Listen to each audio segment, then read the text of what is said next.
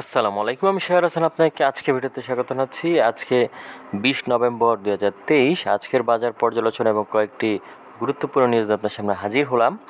তো দুঃখের বিষয়, গত দিনের মতো আজকেও কিন্তু শেয়ার মার্কেট অনেকাংশে মাইনাস হয়েছে এবং টাকার অঙ্কের লেনদেন প্রায় গত দিনের মতোই রয়েছে, তেমন একটা পরিবর্তন নয়। তবে আসলে আমরা কি বলব যে বর্তমানে মার্কেট কিন্তু আবারও ডাউনের দিকেই যাচ্ছে বলা যায়। তো আসলে সবগুলো বিষয় নিয়ে আমরা আলোচনা করব এবং কেন ডাউনের দিকে যাচ্ছে সেই বিষয়টা আমরা একটু পর্যালোচনা করার চেষ্টা করব। তো আমার এই ভিডিওটি যদি আপনাদের ভালো লেগে থাকে বা সামান্যতম উপকার আসে, তাহলে আমি অনুরোধ করব আপনাদের কাছে আমার চ্যানেলটিকে সাবস্ক্রাইব করবেন এবং ভিডিওতে লাইক অ্যান্ড শেয়ার করবেন। তো যাই হোক, আর বেশি একটা কথা না বলে সরাসরি আমরা ভিডিওতে চলে যাই। আমরা এখানে দেখতে পাচ্ছি আজকে ডিএসসি সাধারণ সূচকে চোদ্দ দশমিক চার দুই পয়েন্টের মতো মাইনাস হয়েছে। এছাড়া ডিএসসি থার্টি সূচকে আমরা দেখতে পাচ্ছি চার দশমিক আট দুই পয়েন্টের মতো মাইনাস হয়েছে। এছাড়া আমরা বলতে পারি ডিএসসি সূর্য সূচকে দুই দশমিক সাত এক পয়েন্টের মতো মাইনাস হয়েছে। অর্থাৎ তিনটি ইন্ডেক্সে কিন্তু আমরা মাইনাস হতে দেখলাম এবং পরিমাণটা মোটামুটি ভালোই বলা যায়। এছাড়া আমরা যদি এখানে ইন্ডেক্সের মুভারটা যদি খেয়াল করি, তাহলে দেখতে পাচ্ছি পুলারের ক্ষেত্রে কোনো শেয়ারই বা কোনো কোম্পানি কিন্তু এক পয়েন্টও বৃদ্ধি করতে পারেনি। এবং অপরদিকে আমরা যদি মার্কেট ড্র্যাগারের ক্ষেত্রে দেখি মার্কেট ড্র্যাগারে কিন্তু দেখতে পাচ্ছি লাফার্স হোলসিম সিমেন্ট এমার্ড অয়েল এবং সিপার্ল এরা কিন্তু মোটামুটি দেড় পয়েন্ট বা দেড় পয়েন্টের থেকে কিছুটা বেশি তারা মাইনাস করেছে। তো মূলত আমরা এখানে যদি ট্রেড স্ট্যাটিস্টিক যদি খেয়াল করি, তাহলে দেখতে পাচ্ছি আজকে উনিশটি শেয়ার আপ হয়েছে। অপরিবর্তিত ছিল একশো একান্নটি এবং পতন ঘটেছে একশো পঁচিশটির, অর্থাৎ মাত্র আজকে উনিশটি শেয়ার আপ হয়েছে এবং আমরা যদি টাকার অঙ্কি লেনদেনটা যদি খেয়াল করি, তাহলে দেখতে পাচ্ছি গত দিনের তুলনায় আজকে কিছুটা বৃদ্ধি পেয়েছে।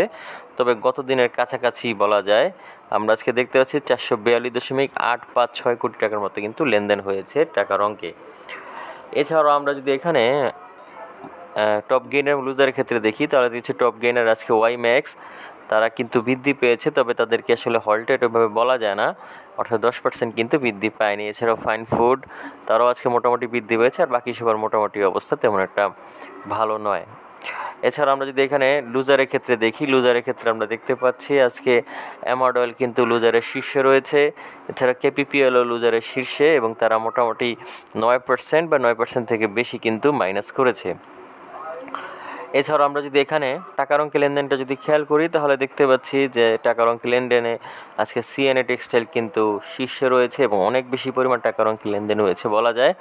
তবে তারা কিন্তু আজকে অপরিবর্তিত অবস্থায় ছিল। এছাড়াও ফুয়াং সিরামিকের কথা আমরা বলতে পারি, তারাও লেনদেনে দ্বিতীয় অবস্থানে রয়েছে, তবে তারা কিন্তু আসলে অনেক বেশি পরিমাণ কিন্তু লেনদেন হয়নি। এবং দ্বিতীয় একটা বিষয় হচ্ছে তারাও আজকে অপরিবর্তিত ছিল এবং গতকালকে কেন যায় না মানে হঠাৎ করেই তাদের কিন্তু অনেকাংশে মূল্য বৃদ্ধি পায়। এই হচ্ছে বিষয়, কিন্তু আজকে আবার তাদের যেই অবস্থা, সেই অবস্থাই। এবং আমরা এখানে খেয়াল করছি যে মার্কেট ম্যাপে আজকে কোনো কোম্পানি কিন্তু ভালো অবস্থানে নেই। শুধুমাত্র ব্যাংক সেক্টরটা একটু ভালো অবস্থানে বলা যায়। আসলে একটু বললে আসলে অপরিবর্তিত অবস্থায় বলা যায়। এবং আমরা যদি বাকিগুলোর অবস্থা খেয়াল করি, তাহলে দেখতে পাচ্ছি এখানে ট্রাভেল অ্যান্ড লেজারের অবস্থা খারাপ। এছাড়াও আমরা দেখতে পাচ্ছি ইন্স্যুরেন্স সেক্টরের অবস্থা খারাপ। সিরামিক সেক্টরের অবস্থা খারাপ বেশি। এছাড়াও পেপার অ্যান্ড প্রিন্টিংয়ের অবস্থা খারাপ বেশি। আইটি সেক্টর অবস্থা খারাপ। তো এই হচ্ছে মোটামুটি অবস্থা। মানে আজকে মার্কেটের খুবই দৈন্য দশা আমরা বলতে পারি যে নির্বাচন যত ঘনিয়ে আসছে, তত মার্কেটের দৈন্য দশা আরও বৃদ্ধি পাচ্ছে। এবং আমরা যদি এখানে ব্লক ট্রানজেকশনটা যদি খেয়াল করি, তাহলে দেখতে পাচ্ছি আজকে এশিয়া প্যাসিফিক ইন্স্যুরেন্স, তারা আজকে মোটামুটি ভালো বৃদ্ধি পেয়েছে। এছাড়াও স্কোয়ার ফার্মা আজকে ভালো লেনদেন হয়েছে ব্লক মার্কেটে। এখানে আমরা দেখতে পাচ্ছি যে সিপাল মোটামুটি লেনদেন হয়েছে ব্লক মার্কেটে। এমার্ড অয়েল মোটামুটি লেনদেন হয়েছে ব্লক মার্কেটে। মার্কেন্টাইল ব্যাংক মোটামুটি। তো মূলত আসলে আজকের মার্কেটে খুবই বাজে অবস্থা বলা যায়, তবে সেই তুলনায় কিন্তু আজকে ব্লক মার্কেটে লেনদেন ভালো হয়েছে বলা যায়।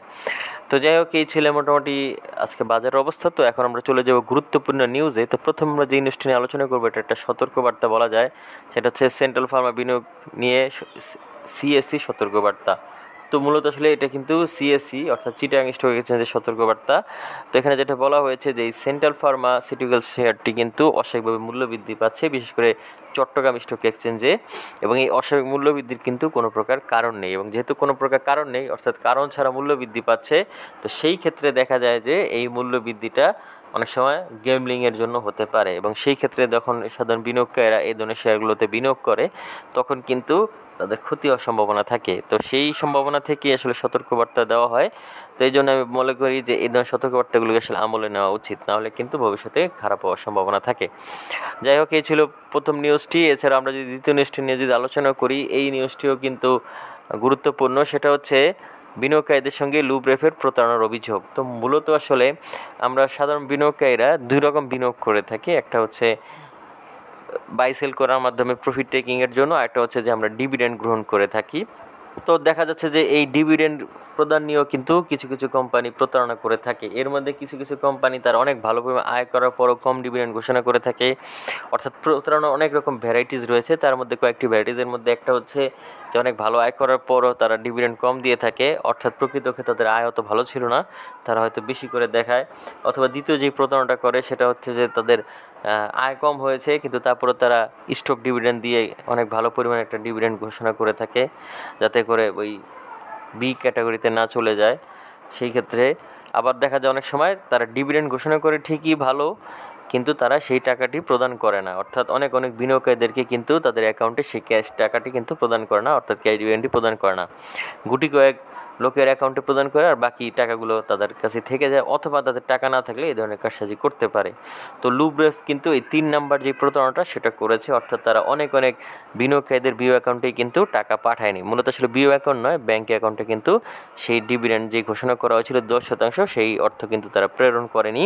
এবং প্রায় আবার কাছাকাছি চলে আসছে এক বছরের, অর্থাৎ নয় মাস হয়ে গেছে প্রায়।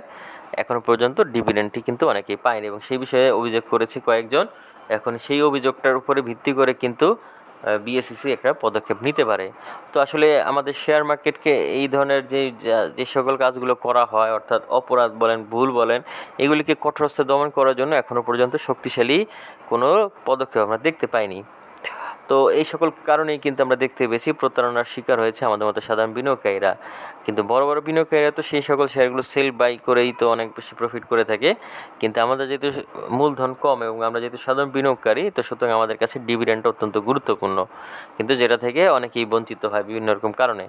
তো আমি বলব যে আসলে এই বিনিয়োগ করার ক্ষেত্রে আমাদেরকে অবশ্যই ভালো শেয়ারে বিনিয়োগ করতে হবে এবং যারা ভালো ডিভিডেন্ড দিয়ে থাকে এবং নিয়মিত ডিভিডেন্ড দেয়, সেই সকল কোম্পানিতে বিনিয়োগ করা উচিত। যাই হোক, এর পরবর্তীতে আমরা যেই নিউজটি নিয়ে আলোচনা করব সেটি হচ্ছে ব্লকে তিন কোম্পানি বড় লেনদেন। তো আজকে মোটামুটি আমরা বলতে পারি ব্লক মার্কেটে একান্নটি কোম্পানি অংশ নিয়েছিল এবং তারা মোট আঠাইশ কোটি বাহাত্তর লাখ বারো হাজার টাকার মতো লেনদেন করেছে।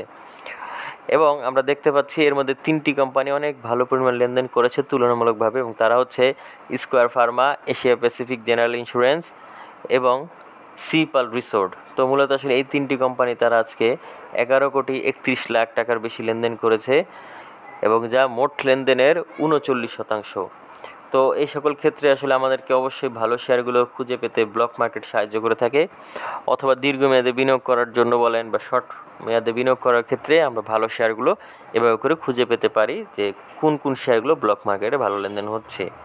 এবং কেন লেনদেন হচ্ছে সেটা আমরা যদি বের করতে পারি, তাহলে আগামী দিনে সেই শেয়ারগুলো কীরকম হবে সেই বিষয়টা আমরা কিন্তু ধারণা করতে পারব। যাই হোক, এজন্য আপনাদেরকে সবসময় আমি ব্লক মার্কেটের দিকে নজর রাখতে বলি। যাই হোক, এরপর আজকের দিনে সর্বশেষ যেই নিউজটি নিয়ে আলোচনা করব, এটা আসলে একটা দুঃখের নিউজ বলা যায়, সেটা হচ্ছে দুই দিনের পতনেই শেয়ার বাজারে কাপন শুরু। তো মূলত আসলে বিগত দুই দিন যাবৎ শেয়ার বাজারে পতন হচ্ছে, তো মূলত আসলে দুই দিন নয় অনেকদিন যাবতই পতনের খেলা চলছে, তবে এই দুই দিনে অনেক বেশি পরিমাণ কিন্তু মাইনাস হয়েছে। এবং সেই কারণেই অনেকেই ভীত সন্তুষ্ট হয়ে পড়ছেন এবং অনেকের ধারণা, যেহেতু বর্তমানে রাজনৈতিক পরিস্থিতির উন্নতি নেই এবং বিরোধী দলগুলো নির্বাচন বয়কট করেছে, কিন্তু তারপর নির্বাচন হবে এরকম একটি ধারণা অনেকের রয়েছে। তো এই ধারণা যদি বাস্তবে রূপ ধারণ করে, তাহলে হয়তো শেয়ার মার্কেট ভালো হতে পারে, সেই ধারণার উপর ভিত্তি করে, তবে এখনও পর্যন্ত পরিস্থিতি কিন্তু বলা যাচ্ছে না। এবং সবচেয়ে বড় যে বিষয়টা হচ্ছে, আমাদের শেয়ার মার্কেটের উপর বলেন বা আমাদের দেশের অর্থনীতির উপর বলেন, আমেরিকার একটা প্রভাব রয়েছে। বা আমেরিকা যদি কোনোভাবে আমাদের দেশের উপর স্যাংশন বলেন বা যে কোনো অবরোধ দেয়, এই ধরনের যদি কোনো ঘটনা ঘটে, তাহলে সেই ক্ষেত্রে কিন্তু আমাদের দেশের অর্থনীতি আরও নাজুক হয়ে পড়তে পারে এবং পতন করতে পারে। এবং সেই সময় কিন্তু শেয়ার মার্কেট সবচেয়ে বড় এফেক্টেড হওয়ার সম্ভাবনা রয়েছে। বিশেষ করে এই মুহূর্তে আমরা খেয়াল করছি, পোশাক খাতের উপর একটা কালো ছায়া পড়েছে। জানি না, আমাদের কম্পিটিটর বোধহয় এরকম একটি ঘটনা ঘটিয়েছে, তবে আমাদের পোশাক খাত কিন্তু বর্তমানে দুর্বল অবস্থানে চলে যাচ্ছে এবং যার কারণে কিন্তু পোশাক খাতে যে সকল শেয়ারগুলো রয়েছে, তারা ভালো পারফর্ম করতে পারবে না বলে আমার কাছে মনে হয়। এছাড়াও আমাদের দেশের বর্তমানে কিন্তু কিছুটা শ্রমিক আন্দোলন চলেছিল বেশ কিছু যাবৎ। তো সেই ক্ষেত্রেও কিন্তু পোশাক মালিকরা বা পোশাক কারখানাগুলো ক্ষতিগ্রস্ত হয়েছে। এবং আমার কাছে কেন জানি মনে হচ্ছে, এতে করে বৈদেশিক মুদ্রার আরও রিজার্ভ কমে যাবে এবং আমরা আরও অর্থনৈতিকভাবে ক্ষতিগ্রস্ত হব। তো সেই সময় কিন্তু আমাদের শেয়ার মার্কেটও আমাদেরকে রক্ষা করতে পারবে না বা আমরা বলতে পারি, শেয়ার মার্কেট সবার আগে কলাপস করবে।